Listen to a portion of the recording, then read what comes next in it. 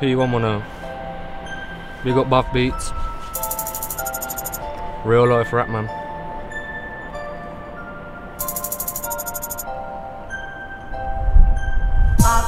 Yo.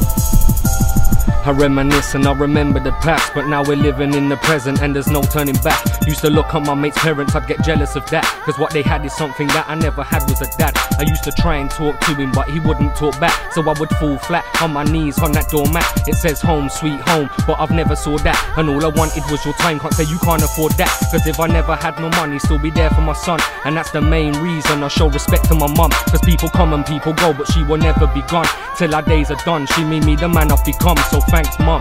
Hope that I am doing you proud because without that woman there would be no food in our mouth. She put the roof on our house. I just choose to rebel, so I got kicked out for the way I was moving around. Thinking I was the man fighting with my crew and my pals. Thinking life was a joke, man. I refused all the help, but nothing's funny when your nan's got fucking tubes in her mouth and she's dying with cancer. For like I'm losing it now, cause she never got to meet my son. Doctor said that she would have at least 18 months, but she never, man. Pneumonia upon her lungs. I guess it's just another battle, cancer's gone and won. So where's my nana gone? You see, death can change you to a different guy. My nan never got to meet my son, man. It isn't right. Now I feel sick of life, thinking what's the reason why? Have to tell my son that our nan is shining in the sky. And every Saturday, used to go there at dinner time, and now every Saturday at dinner time, I sit and cry. Never had anxiety, think her death has triggered mine, and I've been telling myself for months that nan she didn't die.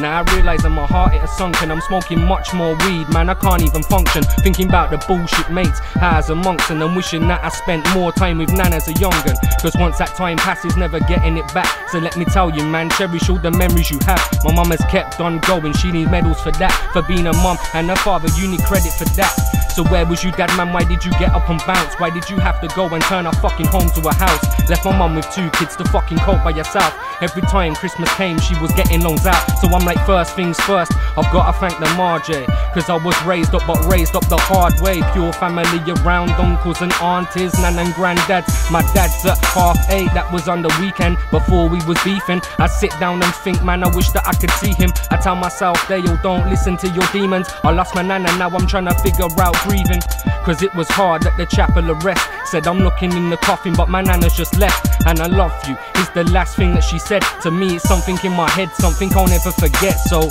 when you see the tears in your little brother's eyes, standing at the funeral, just watching as your mother cries, thinking about another life, it makes me wonder why I swear down. Cause three years ago, my nan was full of life. And this time last year was at my lowest point. I swear down, I was raw about to blow inside. But you know, it's life, left on my own device. Started with depression, couldn't deal with these lonely nights. I couldn't cope with life. And when you're in a place like that, you don't know what's right. I'm just glad I saw the light, got out all the hype and sorted my life. Freedom, yeah, I fought for mine.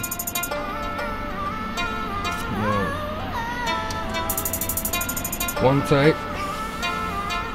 And again, man, big up Beats.